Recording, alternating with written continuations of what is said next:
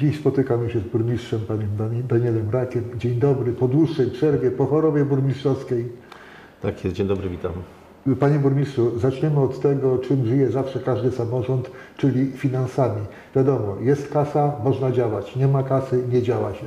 A żeby można było sprawnie działać, to trzeba mieć odpowiednio dopasowany budżet. Czyli co? Zmiany w budżecie. Tak, tak, najbliższa sesja to chyba jeden z najważniejszych punktów e, w porządku obrad, to jest e, właśnie, to są zmiany budżetowe.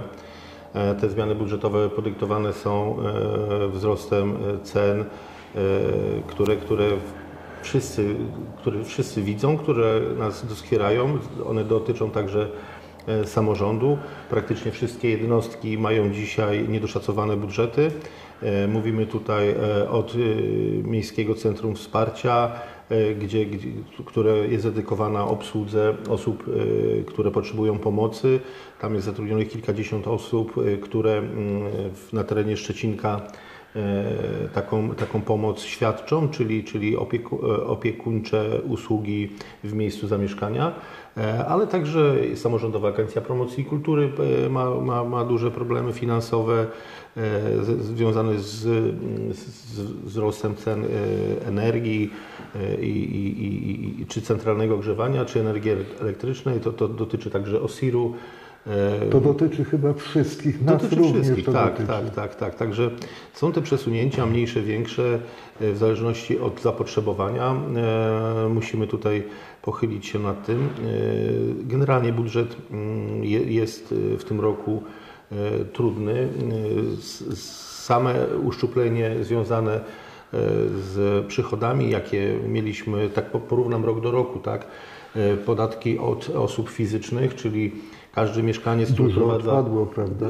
no, w zeszłym roku mieliśmy na poziomie 39,5 miliona, 39,5 miliona mieliśmy z podatków, a w tym roku mamy 33 y, miliony, tak? Biorąc pod uwagę to, czyli jest ponad 6 milionów mniej, musimy pamiętać, że ponad y, te, te, te nośniki energetyczne wzrosły, tak jak na przykład MEC świadczy usługi, 70% y, w górę, tak? To, to, to można sobie samemu odpowiedzieć na pytanie, y, w, jak, w, jakim, y, w jakiej sytuacji są samorządy.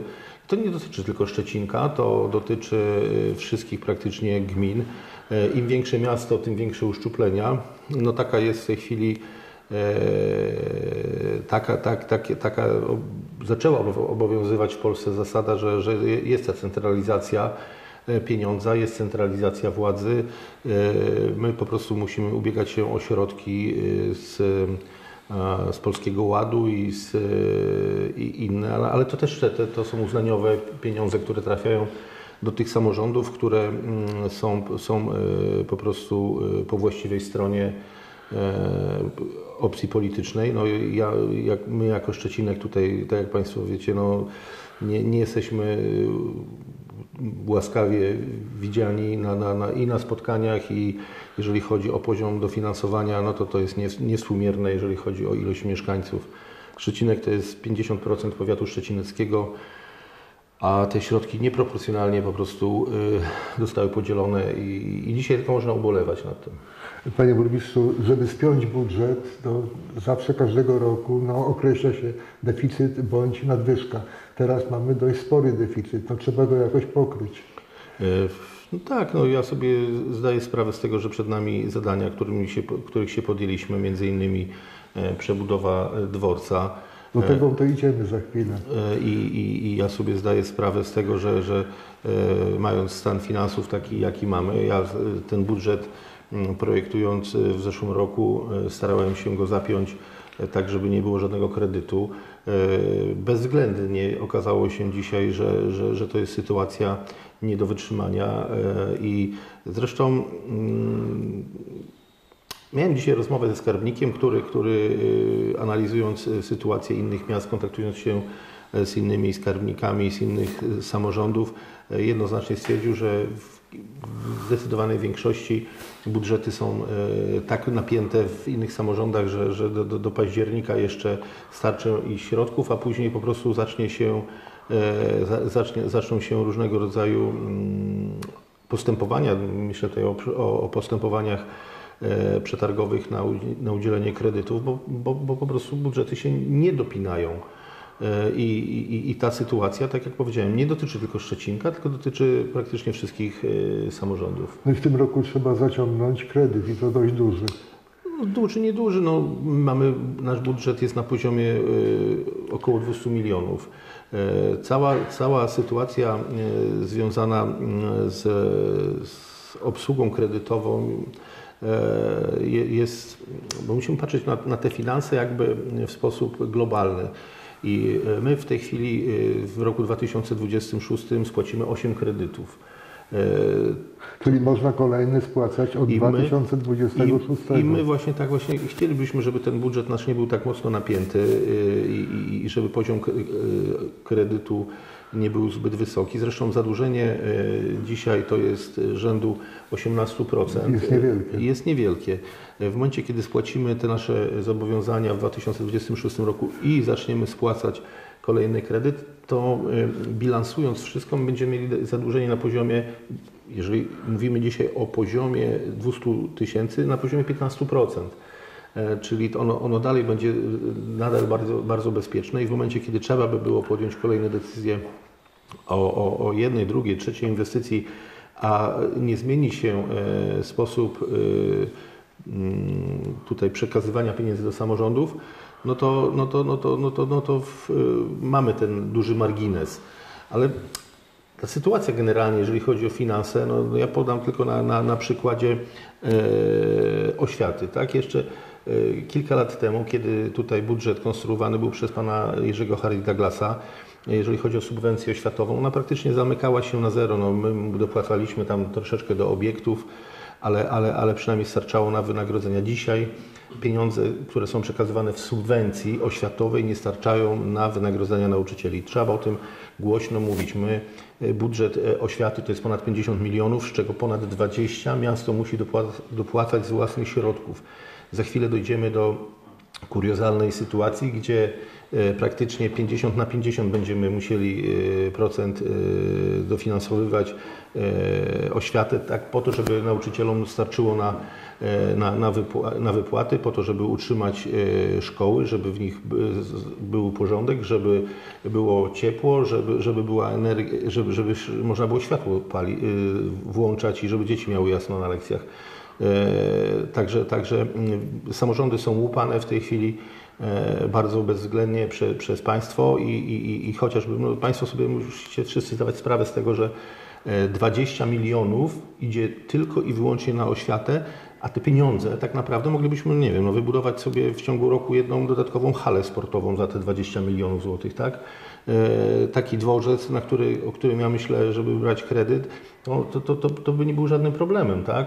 E, ale niestety jest jak jest, tak? Ja tutaj muszę się z tym zmierzyć i, i odpowiedzialnie i dociskać palca, p- pasa i, i, i te nasze jednostki nie mają łatwo dzisiaj. Chyba dzisiaj nikt nie ma łatwo, no samorządy tym bardziej, bo jednak te subwencje i te wszystkie dodatki, dodatki z PIT-u wynikające, one jednak spadają. Panie burmistrzu, i w tej atmosferze, w tym całej mizerii finansowej, no mamy dworzec. Można dzisiaj powiedzieć, że jest to swego rodzaju, może nie kukułcze jajo, ale problem, który bardzo trudno przeskoczyć. Bo raz, że przetargi pokazują, że wykonawcy chcą dwa razy tyle, ile miasto przeznacza, a dwa, no on nie może już dłużej czekać. Tak, ja tutaj twardo stąpam po ziemi e, i wielokrotnie człowiek sobie zadawał pytanie, e, czy, czy, czy rzeczywiście przejęcie dworca jest do udźwignięcia. Natomiast patrząc na e, opieszałość i na to, co się dzieje e, w inwestycjach e, infrastrukturalnych, kolejowych, e, trzeba sobie zdawać sprawę, że gdyby koleje miały przeprowadzić remont dworca, to byśmy się chyba nie, nie doczekali, no bo e, no bo wszystkie inwestycje u nich e, w tej chwili się wywracają. E, Dlatego No Koszalin ruszył. E, No Koszalin ruszył, ale na przykład linia kolejowa e, e, tutaj w kierunku Gdańska e, miała się zakończyć w październiku. E, Mamy dzisiaj luty, końca nie widać, trakcja rozebrana, dworzec, dwor, dworca nie ma, tam e, to jest koło Kościerzyny i, i praktycznie połączenie, o które zabiegałem i zabiegam cały czas, czyli e, Szczecinek-Gdańsk e, nie może być zrealizowane właśnie ze względu na to, że, że, że po prostu trakcja kolejowa jest rozebrana. Y, Pół roku poślizgu i końca nie widać. Także ruszył Koszalin, no bo Koszalin dzisiaj jest jakby mm, no, po tej dobrej, po, po, po, po innej stronie e, politycznej i, i- stąd też tam e, zapadają takie decyzje. Natomiast e, my w Szczecinku musimy sobie sami z tym poradzić. Dostaliśmy jakieś niewielkie pieniądze z tego Polskiego Ładu.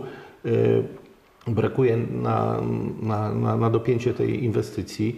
E, Generalnie drugie tyle. Panie, panie dyrektorze, no, na, wykonawcy, żeby zmierzyć się z taką inwestycją, e, biorą tak zwane kredyty obrotowe e, w rachunku bieżącym, rocznym, tak, i one są bardzo wysoko oprocentowane. To też ma wpływ na, na poziom cenowy. Ja, ja tylko wracając do tych zmian budżetowych, my tylko w zmianach budżetowych musimy zwiększyć o kwotę pół miliona związane z tym, że o tyle nam wzrastają odsetki. No i pytanie później, ile, ile, ile tych, y, tych, tych środków jeszcze wykonawca musi dodatkowo zabezpieczyć w, takim proje- w takiej ofercie, żeby, żeby utrzymać płynność finansową i zrealizować duże zadanie 20-milionowe. Tak? No, to, są, to, są, to są rzeczy, które, któ- z którymi się mierzymy dzisiaj, tak? czyli mamy i inflację i, i- i ten WIBOR, który jest na skandalicznie wysokim poziomie, no ale no co, żyjemy tu i teraz, dworzec trzeba zrobić. E, Mam nadzieję, że ten piąty przetarg, który w tej chwili robimy, do- zostanie rozstrzygnięty. Dzisiaj to wydaje się, że ten rynek e, zamówień jest troszeczkę inny. Kryzys sięga też branżę budowlaną. Spada popyt na mieszkalnictwo, więc ci, ci wykonawcy wszyscy szukają też jakichś innych tematów. Chcą utrzymać swoich pracowników pra- e, w swoich zakładach pracy, no bo wiadomo, że jeżeli człowiek odejdzie, to później już drugi raz nie będzie wracał, bo, bo, bo sobie znajdzie jakieś inne zajęcie. E, Więc, więc zobaczymy, tak? Czas pokaże, czy, czy, czy rzeczywiście e, będzie weryfikacja ceny. No, oby, oby to nastąpiło, bo póki co wieczorem dworzec jest zamknięty na kłódkę. Ale jest zamknięty nie dlatego, że, że, że, że po prostu ktoś miał taką fanaberię, tylko dlatego, że ostatni pociąg odjeżdża o godzinie 21, a pierwszy o 5.30 przyjeżdża. E, I, i, i, i, nie było sensu e, jako odpowiedzialni gospodarze e, tam mieć, tam szykować miejsce dla, jakiegoś, dla jakichś przypadkowych osób, które, nie wiem, będą tam e, imprezowały, czy, czy, czy, czy, czy dewastowały dalej. Ten dworzec nie jest w dobrej sytuacji. Jego stan techniczny jest taki, jaki, jaki otrzymaliśmy. To można sobie e, podejść, podjechać autobusem czy samochodem i zobaczyć. Natomiast no, linie, e, wszystkie połączenia, które, które zdiagnozowaliśmy, e, są takie, a nie inne. No, no, no przecież y, jeżeli, jeżeli ostatni pociąg odjeżdża o godzinie 21, no to można zamknąć yy, no jakby sklep, y, tak? Jeżeli do sklepu nikt nie przychodzi w nocy, no to, to, to nikt nie utrzymuje tej ekspedientki, nikt nie, nie, nie ma otwartego obiektu. Tak, i to, jest, to, to, to ma swoje uzasadnienie po prostu. I miejmy nadzieję tylko, że takich sytuacji, jaka miała miejsce w Białogardzie, nie będzie, gdzie podróżnych po prostu oczekujących na opóźniony pociąg wyrzucono i zamknięto dworzec. Chyba, no, no, no, no, jeżeli, jeżeli będą jakieś takie sytuacje, no to, to trzeba będzie reagować yy, Na bieżąco. Na bieżąco. A Tak. póki, co, póki co nie było takich zdarzeń. Panie burmistrzu, zmieńmy całkowicie temat. Jest pan po kontuzji piłkarskiej, a w Szczecinku się szykuje duży turniej piłkarski. No Tak, miałem, rzeczywiście, rzeczywiście po raz kolejny będziemy mogli tutaj gościć w Szczecinku e, dzieci, młodzież e, z całego województwa. Finały e, o Puchar Tymbarku e, na naszym szczecineckim stadionie po raz kolejny. To jest e, kilkadziesiąt e, drużyn, która w, w ciągu dwóch dni Kilkuset młodych piłkarzy. przyjeżdża do Szczecinka. Tak, no, ten- Puchar Tymbarku ma już wieloletnią e, tradycję i historię i, i, i, i właśnie odkryciami takiego, te, te, tego Pucharu Tymbarku był i Piotr Zieliński, który dzisiaj reprezentuje e, naszą graczy reprezentacji, czy, czy Arkadiusz Milik.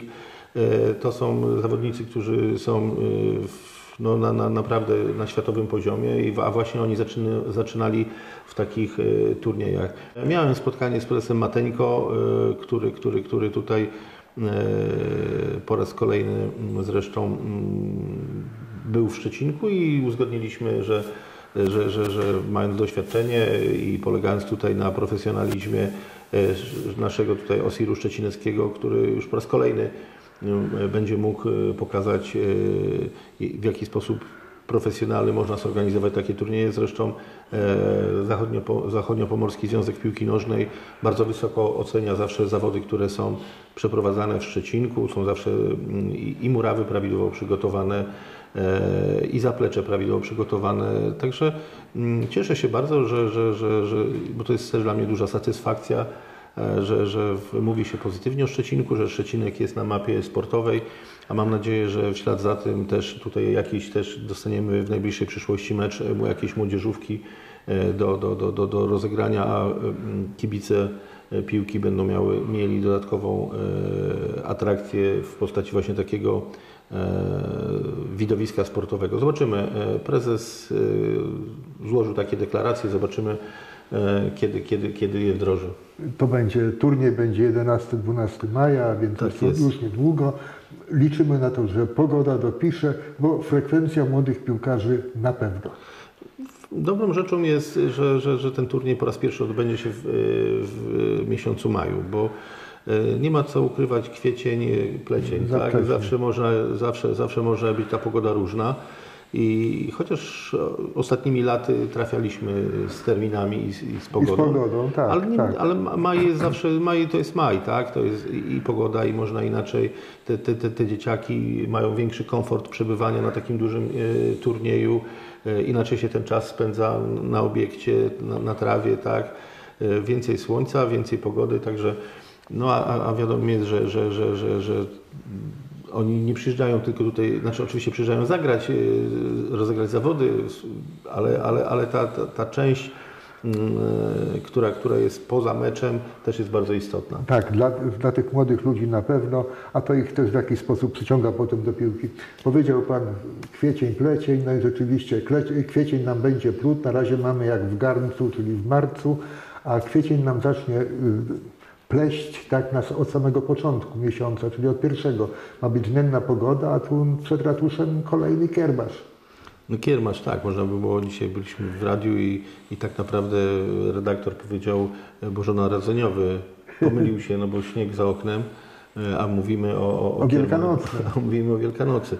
No mam nadzieję, że, że tutaj słońce zrobi swoje e, i że, i że, i że mm, od 1 do 6 e, kwietnia e, będziemy mieli w miarę dobrą pogodę, że naszej Czyli Szczecinecy od i soboty do czwartku. E, Tak, e, nasi szczecineccy handlowcy tutaj e, przedstawią fajną, atrakcyjną ofertę. E, Ten kiermasz już jest po raz kolejny e, wiosenny. E, Zresztą obserwując tutaj e, ilość osób odwiedzających Plac Wolności podczas kiermaszu, widać, że e, podczas tych kiermaszy, które do tej pory się odbyły, widać, że, że, że mieszkańcy lubią uczestniczyć w takim, e, w, takim, takim mm, przedsięwzięciu. E, Stoiska są e, odwiedzane, cieszą, zresztą ilość osób, które dopytuje się o taki punkt i, i chce po prostu sprzedawać swoje produkty je- jest naprawdę zadowalająca. My raczej nie, nie narzekamy tutaj na puste boksy. W tym roku chcielibyśmy też, e, żeby jeden z takich punktów był dedykowany e, Nadii Gebauer. To jest dziewczynka, która jest chora na SNA e, i, i, i, i, mm, Samorządowa Agencja Promocji Kultury przy udziale stowarzyszeń, przy udziale też szczecineckich szkół y, szykuje ofertę, gdzie będzie można wrzucić do puszki, włączyć się. Pieniążki są zbierane na, na jej leczenie. E, Będzie, mam nadzieję, że, że, że, że tutaj nasi mieszkańcy mm, będą e, hojni i też się w to włączą. Wiem, że, że na przykład zespół szkół technicznych szykuje ofertę e, z e, takimi mm, elementami przypominającymi Wielkanoc, czyli, czyli stalowe takie zające, które będą mogły e, udoskonalić, czy, czy, czy będą, będą atrakcją na, gdzieś w dekoracjach e, domowych, świątecznych. Także no, czekamy, czekam na, na, na, na, na, skompletowanie do końca e, oferty przez Samorządową Agencję Promocji Kultury, A wszystkich naszych mieszkańców zapraszam e, na kiermasz wielkanocny, a będzie jeszcze mile, jak się nasi mieszkańcy włączą w tą szlachetną, to szlachetne przedsięwzięcie i, i, i coś tutaj do puszki wrzucą dla tej małej dziewczynki. A my czekamy na ofertę handlowców z niecierpliwością. Mamy nadzieję, że będzie taniej jak w sklepach. Tak jest. Zapraszam wszystkich Państwa na kiermasz. Był to program samorządowy miasta. Gościł nas pan burmistrz Daniel Rak. Dziękujemy za Dziękuję spotkanie. bardzo.